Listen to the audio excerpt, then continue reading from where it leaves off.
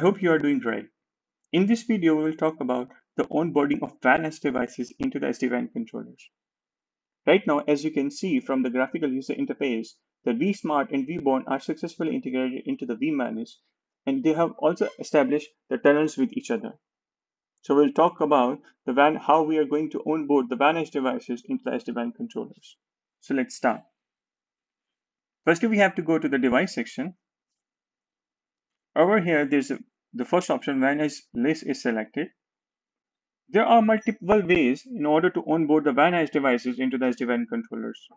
The first and the most useful method is this, that you uh, sync your vManage with a smart account. This is an option over here. Once you click it, the menu will pop up and over here you have to give your smart account credentials. What it will do, it will pull all your WAN devices list into the vManage. And after that, vManage will push all those information to the vBond so that whenever the WAN edge device is going to communicate with a vBond, so vBond will already have that list and so that vBond will get to know that this is the legitimate WAN edge device that is going to communicate with the vBond. This is one of the uh, security parameter of the SD-WAN as well. Right now, I do not have a smart account, what I will do, I will manually upload the WAN edge device into the SD-WAN controllers. So let's start. The first thing is we have to configure the interface related configuration. So I have to go into VPN 0 and over here there are two interfaces in which through which I'm going to communicate with the SD-WAN controllers. Firstly, I will use the first interface which is GE0-1. I have given the interface IP. The next thing is I have to assign some basic parameters to this interface.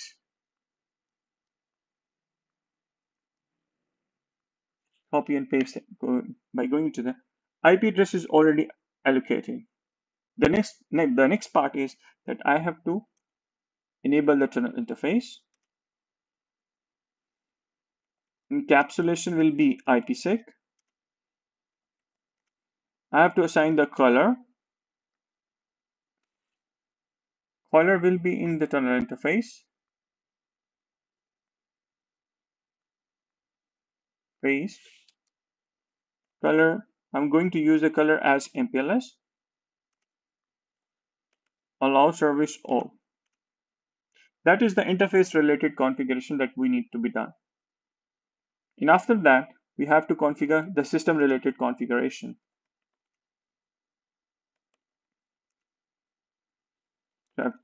Go to the system. The first thing is we have to define the host name. Though parameter, the configuration parameters are more or less same as we are done with the controllers.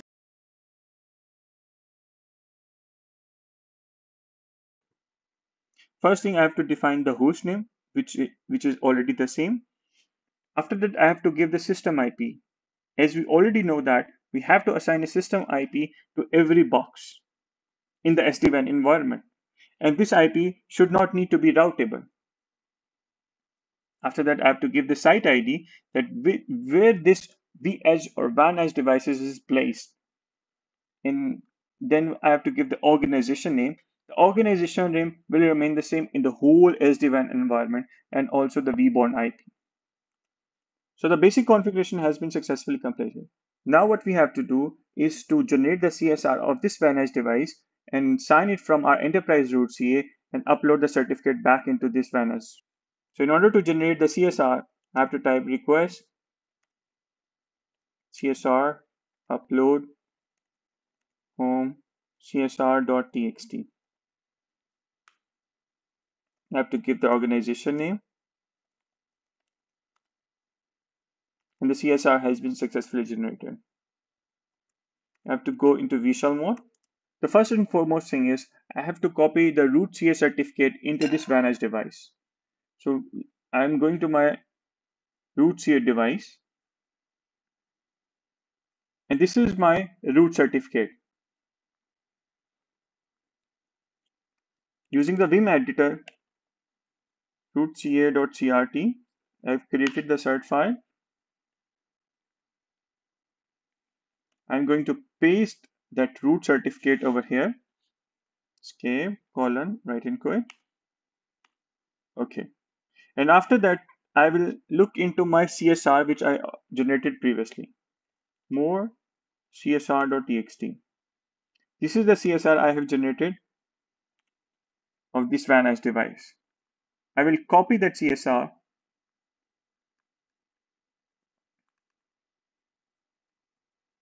going to my enterprise root CA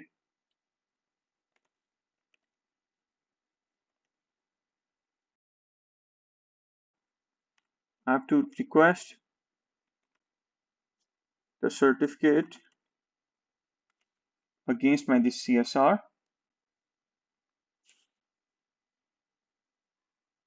and what it will do it will generate the certificate to me. This is my CS server I will copy this certificate. Copy. I will create another file which is van or I will say it as vh.crt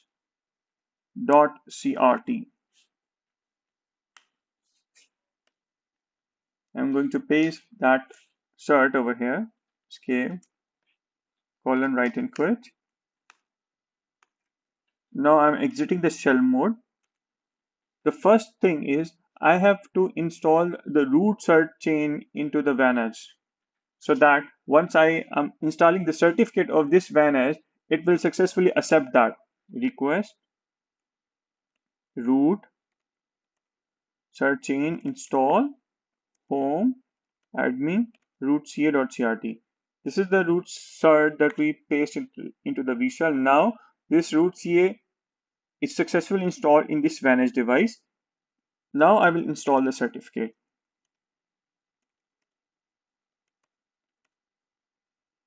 vh.crt. As you can see, it's successfully installed. I am manually onboarding this VanEye device. I have to request the vBond that you should accept this serial number when it is going to establish a tunnel to you.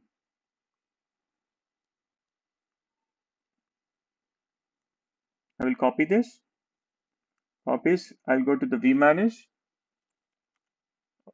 Uh, vBond first. Request. vh. Add. The first thing is chassis number. Chassis number is this.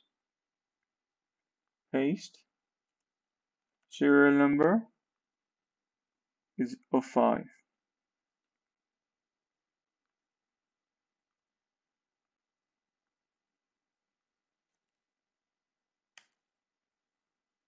I will type the same command to the vManage as well. Copy, paste.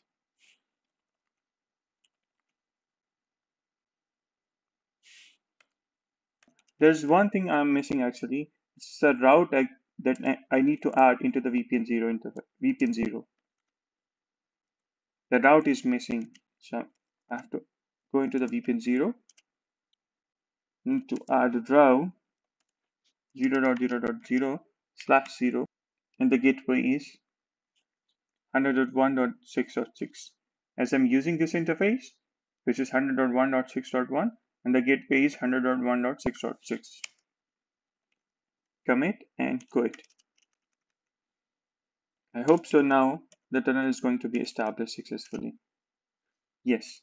So as you can see, the tunnel is successfully established with the vBond and the vManage. Currently, it is not established with the vSmart because it's the vManage who is going to share the VanEye device information with all of the controllers. So I have to go to the vManage. The VanEye should has to become over there. As you can see, the, those, that PS device is successfully came into my graphical user interface as well. Now I have to go into the certificates tab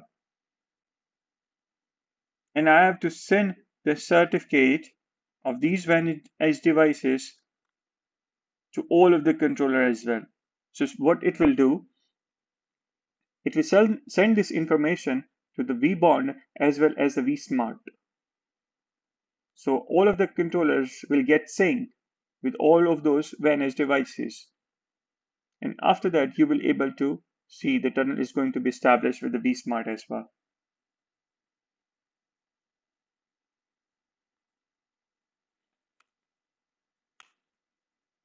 Now you can see the tunnel is established with the vSmart as well. I hope you like this video. Please keep watching Bits and Bytes. Thanks.